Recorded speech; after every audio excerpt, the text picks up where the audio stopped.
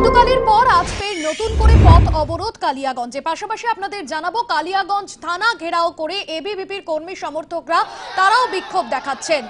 কালিয়াগঞ্জে মৃতের বাড়িতে পৌঁছন সুকান্ত মজুমদার, অন্যদিকে রাজ্য সড়ক অবরোধ করে বিক্ষোভ দেখাচ্ছেন স্থানীয় বাসিন্দারা। পুলিশের সঙ্গে বচসা, অন্যদিকে পরিস্থিতি যাতে হাতের বাইরে না চলে যায় গতকাল যেরকম অগ্নিগর্ভ পরিস্থিতি তৈরি হয়েছিল, উত্তর দিনাজপুরের কালিয়াগঞ্জ রণক্ষেত্র পরিস্থিতি তৈরি হয়েছিল।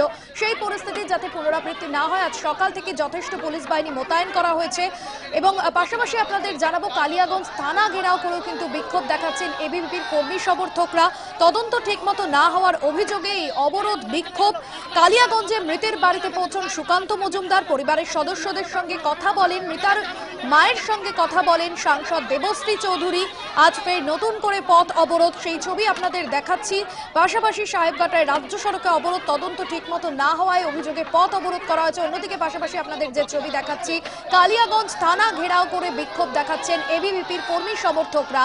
তাদের বিভিন্ন যে অভিযোগ মূলত রয়েছে, যে যারা দোষী রয়েছে, তাদেরকে উপযুক্ত শাস্তি দিতে হবে এবং তদন্তকে ঠিক মতো ঠিক গতিতে এগিয়ে নিয়ে যেতে হবে।